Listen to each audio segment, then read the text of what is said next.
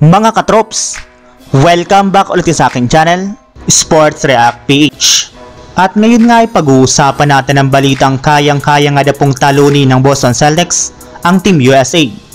Pag-uusapan na rin nga natin dito sa ating panibagong video, ang lumabas na balitang trade sa pagitan ng Los Angeles Lakers at Cleveland Cavaliers.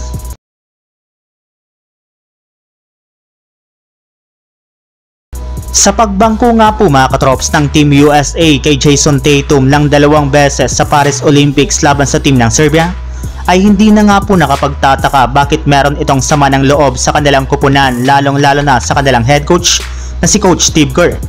Kaya noong tanungin nga po ito kung kaya nga bang talunin ng reigning NBA champions na Boston Celtics ang Team USA, ay agad nga po itong sumagot ng oo. Yes, naniniwala nga po si Jason Tatum na kaya nga po nalang patumbahin ang kasalukuyang lineup ngayon ng Team USA kahit nanalo man nga po ito ng gintong medalya ng nagdaang Paris Olympics.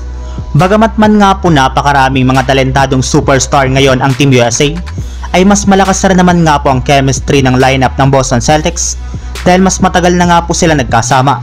It's all about chemistry talaga ang labanan ngayon sa dalawang kupunan na ito. Isa pa, mas loyal para naman nga po siya sa Boston Celtics. Kaya kahit anuman nga po ang mangyari ay susuportahan para naman nga po niya ang kanyang sariling kupunan.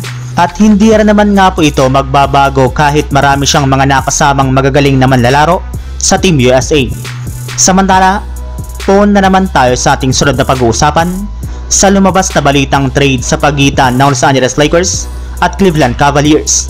Sinabi na nga po mga katrops ng NBA analyst na si Tim Bontemps ng ESPN na kung hindi nga daw po gagawa ng pagbabago ang Lakers sa kanilang lineup ngayong offseason, ay sigurado nga daw po na maaga na naman silang malalaglag next year at masasayang na naman ang kanilang kampanya. Malinaw nga po na hindi sapat ang kanilang lineup at ngayon nga po na binawasan pa nila ito at dinagdagan ng mga rookie at mga G-League players ay mas lalala nga po silang humina ngayong offseason. Kaya matapang na nga po nito na sinabi na kailangan na nga po nila Pelinka na gumawa ng isang risky na trade para mapalakas lamang ang kanilang kupunan. At kabilang na nga po sa mga pwede nilang gawin dito ay ang pagkuha nilang muli kay Darius Garland mula sa Cleveland Cavaliers gamit ang kanilang mga players na sina D'Angelo Russell, Jared Vanderbilt, Gabe Vincent, Jalen Hood-Chipino at when a 31st round pick. Para nga po sa mga hindi dyan nakakaalam mga katrops, Si Garland nga po ay nag-average last season ng 18 points at 6.5 assist per game bilang player ng Cavaliers. Kaya sigurado nga po na mapapakinabangan rin ito ng Lakers kung sakali mang makuha nila ang kanyang serbisyo. So yun lang mga katrops, ang handog kong story ngayong araw. Sana nag-enjoy kayo, please like and subscribe my YouTube channel, Sports React PH para sa iba pang story at update patungkol sa NBA. Kita-kits muli sa ating susunod na video.